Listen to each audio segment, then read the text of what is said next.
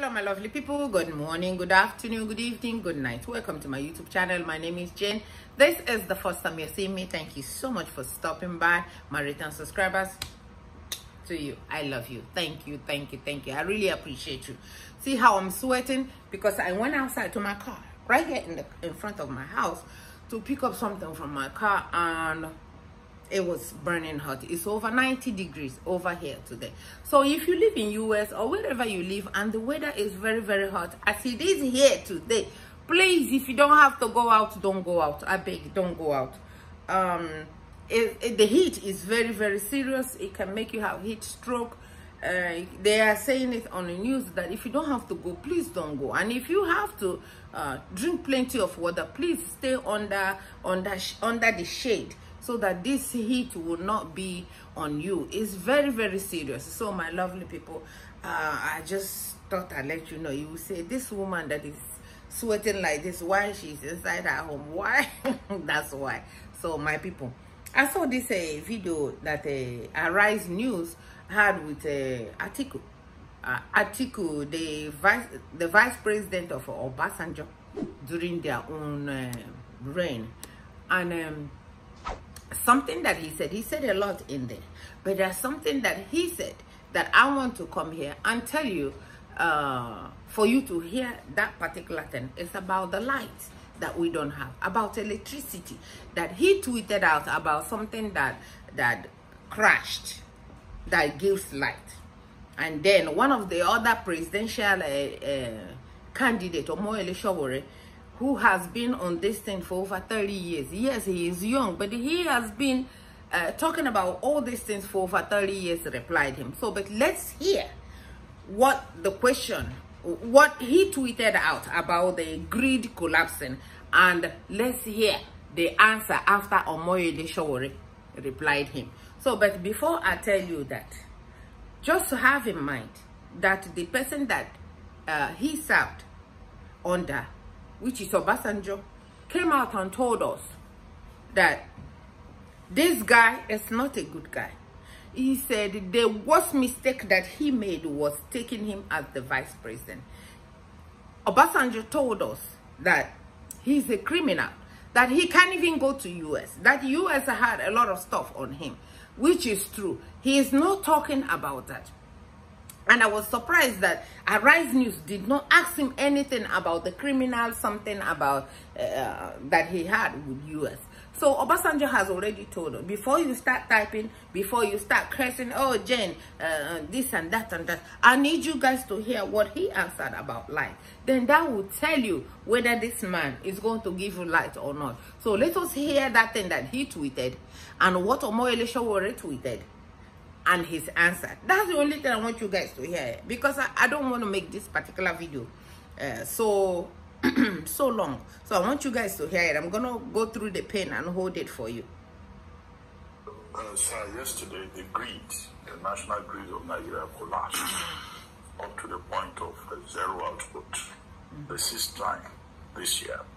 And on your twitter account uh, you tweeted that uh, uh, this is one collapse too many.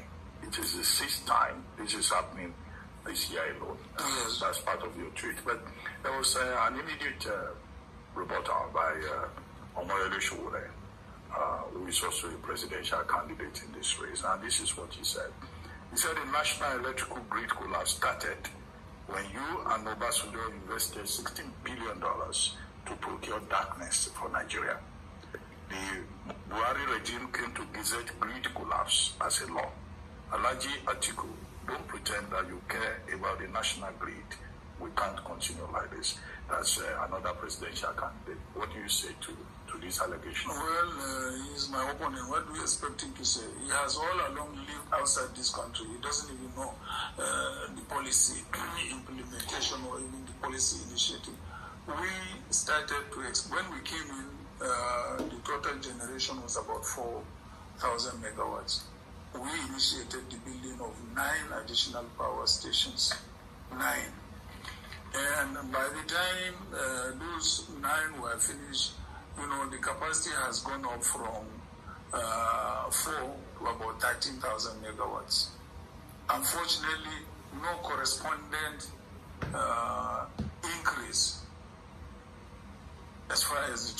lines are concerned. There is, there is no way when your transmission lines cannot evacuate the power you are producing that they will not collapse. So they keep on collapsing. And these uh, additional uh, nine power stations were completed by Jonathan. Umaru, was on it, uh, he died, and Jonathan continued, and he completed them. So that's why any time there is an increase in the power generation, and then you have a transmission uh, system, and that cannot evacuate the power, there will be a collapse. So he doesn't even know, because he lives outside this country. He comes every four years and contests for the presidency, and goes back. He fails and goes back again. So what does Sowore know about this country? Nothing, absolutely nothing. But what do you intend to do differently if you were to become president of Uh, Nigeria? uh, let me let me just give you a story what I tried to do even during our own administration. I went to the president. I said, "Look, uh, Mr. President, let us decentralize both generation and transmission." Said, "What the hell do you mean?" I said, "Look, let's use various other sources of power: hydro, solar, even coal." We're a developing country. And then break, you know, the concentration. And the president said, no, he believed more in gas. I said, gas is going to be a problem for us because gas is only available in one location. And then it will take us longer time to have uh, a, a gas uh, uh, plant that will supply the whole of this country electricity. And by the time you do that, you will find that the electricity you'll be generating is too heavy for our transmission. but if you decentralize the generation, the generation like in my zone, the northeast, we have too many dams there lying idle. All what we need to do is install turbines. And then with our current transmission system, we can transmit the electricity. If you go to the northwest, they also have large dams idling. All what you need to do is install, you know, uh, distinct turbines and they generate electricity. If you go to the south south, then you can use whatever form of energy is available, whether it is gas or hydro or even coal. After all, after all, Mr. President, I said the entire eastern region was being supplied by gas, I mean by coal from Enugu at, at that time.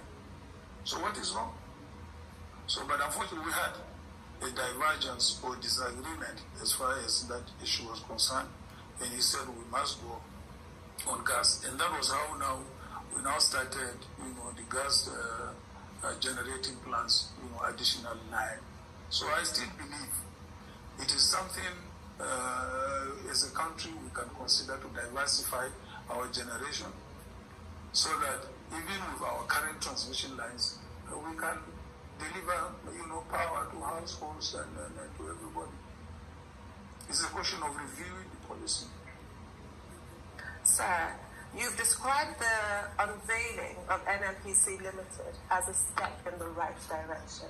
What The NNPC is not why we are here. What we are here for is the answer that he gave about that business. You see, that light business is very, very important to me because that's no way 200 million is going to stay in darkness and make it in life. I don't care what kind of rule you try to put over there in Nigeria. Once they don't have light, just cancel everything. It's as good as dead because there's everything you can do with light. All you need is to give Nigerians light. But you know why this man is still reviewing the policies? The policies that they've been reviewing since he was the vice president. They're still reviewing policies of giving us light because he is the person that produces the generator. Is he going to close his generator? He is the same person that told you, that told you Nigerians that, hey, what is wrong with enriching my friends? Are my friends not entitled to be enriched? He told you that. Come on, come on, come on, wake up. Wake up. I don't care uh, about... I don't care about whoever or whatever anybody will type in this video. if you are still supporting this man, I am very, very sorry for you. I am so disgusted by you.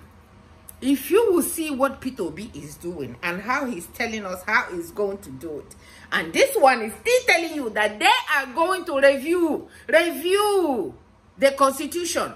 They will review the constitution of how they will give us light. They will review everything, how they will do road. They will review everything.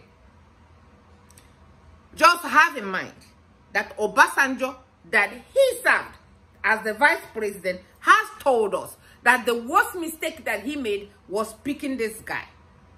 He said if he has to change anything today, it would not be this guy. He said, Nigerians, if you pick him, you are on your own. That's what Obasanjo told us. And when people tell me stuff, I always believe believe them by their words. And Obasanjo is telling us, Obasanjo knows better. And they even asked him, have you gone to see your boss, which is Obasanjo? So for those of you that are saying that uh, uh, Peter called him boss, he, uh, he has a boss too, Obasanjo. They say, have you spoken to him? And do you think he's behind you? He said, I, I believe so. I don't know, but I believe so. I haven't seen him yet, but I believe that he's still with, uh, with me. So my people, please don't make this mistake. Don't make mistake. A lot of people are telling us everything about these two people. A lot of people are telling us everything about these two people, Atiku and uh, Bola Ahmed Tinubu. That was a place that they asked him. But the Bola Ahmed Tinubu is your friend. He said, yeah, we are friends. We are rivals. We, we, but that doesn't mean that uh, we are not going to, since we became friends, we've always been uh, uh, going through this. So they are still friends. It does not matter who who wins. That's why they are not talking about each other. That's why no, not attacking each other. They are still friends. If Atiku wins, it's uh, Bola Ahmed Tinubu. It's Bola Ahmed Tinubu wins, it's still Atiku. So be careful. Oh, make wise choice. Make a very, very wise decision in what you are doing. Because what you are doing will come to hurt you, hurt your family members, hurt your every member of your family. Because the amount of money that Nigerians are owing now because of this type of people. How did you see the amount of billion, the amount of billion that Elesho will record? Because Elesho will know because Omoyo Elesho is a Sahara reporter. He know, he know. So my people, don't make this mistake. Oh, everybody is warning you. Everybody cannot be wrong, and you are the only one that is right. So open your eyes, shine your eyes, like our people always say.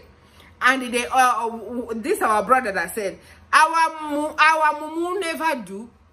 If your own mumu never do mine don't done long time ago. So it's time for you to open your eyes.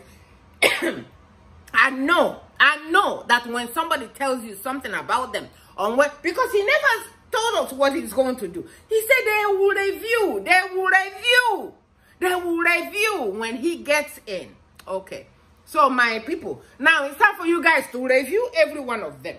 I hope the same way they interviewed him, that they would interview uh, Ahmed uh, Bola Tinubu without anybody, just the same way that he's sitting by himself. Because they have already interviewed um, uh, Peter Obi and let them interview him some more and more and more. Because he has stuff for Nigerians and he's telling Nigerians it's time to get away from chop, chop, chop and start producing stuff. We can't even produce toothpick. So that's what I come here to tell you guys. God bless you guys for watching. It's up to you. Everything is in your hand. Whatever you decide to do, it's on you and it's us that will suffer it. It's us Nigerians that will suffer the consequences of our decision. So please make better decisions. Please don't let money rule you.